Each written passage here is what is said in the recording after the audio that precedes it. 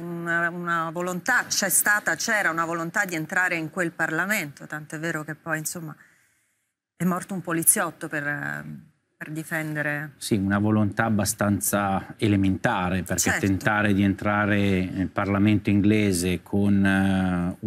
un'auto e, e con due coltelli penso che vuol dire eh, non sapere esattamente come sono i sistemi di sicurezza all'interno in Inghilterra e soprattutto del Parlamento inglese, quindi per fortuna non c'è stato nulla di strutturato, ecco, per fortuna nella disgrazia, per fortuna.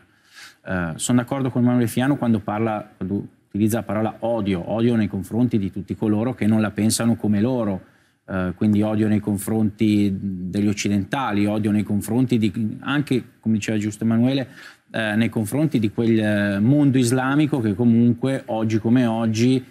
secondo me non è tantissimo, ma esiste, oggi come oggi eh, condanna queste, eh, tutte queste violenze. Secondo me non è tantissimo perché la maggior parte stanno in silenzio e lo vediamo anche, l'abbiamo visto anche dopo tutti il, gli attentati che ci sono stati anche eh, negli, altri, negli altri paesi europei.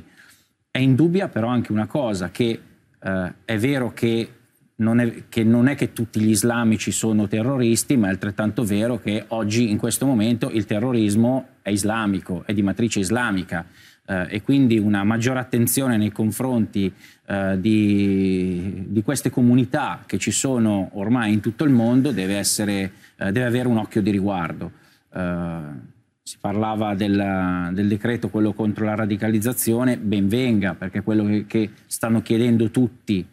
tutti, tutte, tutte la, la, la, società civile italiana lo sta chiedendo, la politica italiana lo sta chiedendo da anni e di conseguenza nel momento in cui arriverà in Parlamento penso che tutti faranno la, la loro parte per cercare di dare il miglior contributo possibile.